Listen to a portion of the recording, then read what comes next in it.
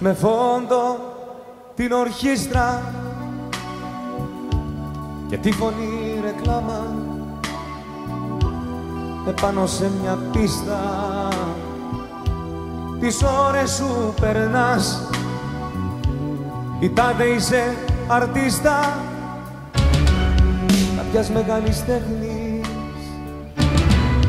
όμως δεν έμαθες ποτέ. τι είναι καλλιτέχνης καλλιτέχνης θα πει.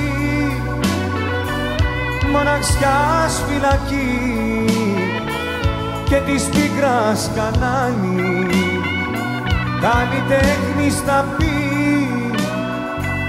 Να μιλάς με σιωπή και να ακούνε οι άλλοι καλλιτέχνης θα πει όλα όσα δεν είσαι κι όλα όσα μην είσαι καλλιτέχνης θα πει.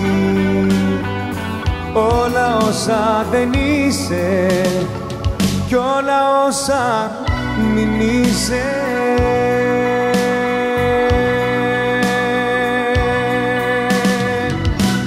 Αν σε χειροκροτήσουν αυτοί που σε κοιτάνε να μην σε κολακεύει. Από συνήθεια θα είναι κι αν είσαι η αρτίστα.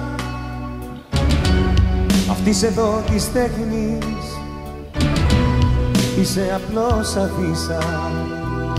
Δεν είσαι καλλιτέχνης. Καλλιτέχνης θα πει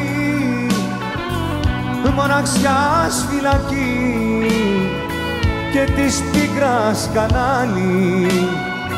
Καλλιτέχνης θα πει να μιλάς με σιωπή και να ακούνε οι άλλοι. Καλλιτέχνης θα πει όλα όσα δεν είσαι κι όλα όσα μην είσαι καλλιτέχνης θα πει όλα όσα δεν είσαι κι όλα όσα μην είσαι